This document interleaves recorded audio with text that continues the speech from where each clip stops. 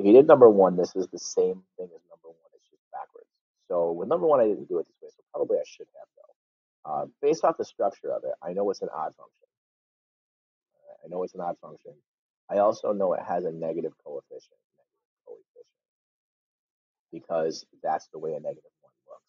Right, so I know that those two things are true. So if I look up here at my two equations, or my two equations, my four choices, those two have a negative in front of the equation. So they have a negative one in front of the.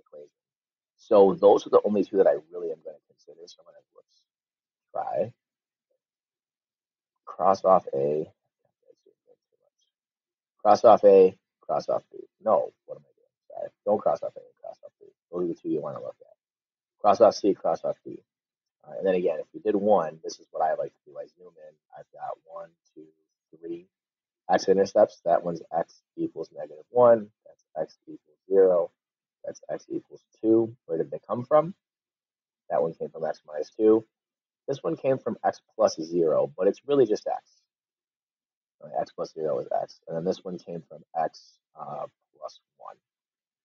That's where they came from. You do have to be careful with these because if you're not, it's really easy to think that's x plus two, x, and x minus one. So it's going to be this option right here, B, because that has the plus one, the minus two, and the x in there. So really, be careful. Look at stuff in the right order, whatever works the best for you. Um, the negative coefficient is the one that I think you probably want to look out for the closest because it's going to be the one most likely.